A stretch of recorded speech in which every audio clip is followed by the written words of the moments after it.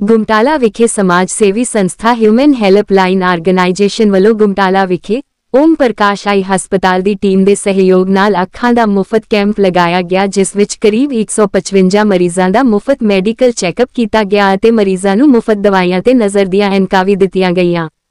ਇਸ ਮੌਕੇ ਸੰਸਥਾ ਚੇਅਰਮੈਨ ਸ਼੍ਰੀ ਅਸ਼ੋਕ ਮਲਹੋਤਰਾ ਨੇ ਜਾਣਕਾਰੀ ਦਿੰਦਿਆਂ ਦੱਸਿਆ ਕਿ ਸੰਸਥਾ ਵੱਲੋਂ ਪਹਿਲਾਂ ਵੀ ਪੰਜ ਕੈਂਪ ਲਗਾਏ ਗਏ ਹਨ ਅਤੇ ਪੰਜ ਕੈਂਪ ਹੁਣ ਵੀ ਫਰਵਰੀ ਮਹੀਨੇ ਵਿੱਚ ਲਗਾਏ ਜਾਣਗੇ। ਇਸ ਮੌਕੇ ਜਰਨਲ ਸਕੱਤਰ ਸ੍ਰ ਪ੍ਰਗਟ ਸਿੰਘ ਸਦਿਓੜਾ ਨੇ ਇਸ ਕੈਂਪ ਨੂੰ ਸਫਲ ਬਣਾਉਣ ਲਈ ਸੇਵਾ ਹਿਤਾਏ ਪਤਵੰਤੇ ਸੱਜਣਾ, ਡਾਕਟਰ ਟੀਮ ਦਾ ਧੰਨਵਾਦ ਕੀਤਾ। ਇਸ ਮੌਕੇ ਬਾਬਾ ਬਲਵੀਰ ਸਿੰਘ, ਜਨਕ ਰਾਜ ਸੈਕਟਰੀ ਆਪ, ਸੋਹਣ ਲਾਲ ਅਮਰੋਹੀ, ਦੀਵੇਸ਼ ਕੁਮਾਰ ਆਪ, ਗੁਰਦੇਵ ਸਿੰਘ, ਸੰਤੋਖ ਸਿੰਘ ਗੁਮਟਾਲਾ ਅਦ ਹਾਜ਼ਰ ਸਨ। ਲੰਗਰ ਅਤੇ ਚਾਹ ਦੀ ਸੇਵਾ ਬਾਬਾ ਬਲਵਿੰਦਰ ਨਿੱਕਾ ਸਿੰਘ ਗੁਮਟਾਲਾ ਨੇ ਨਿਭਾਈ।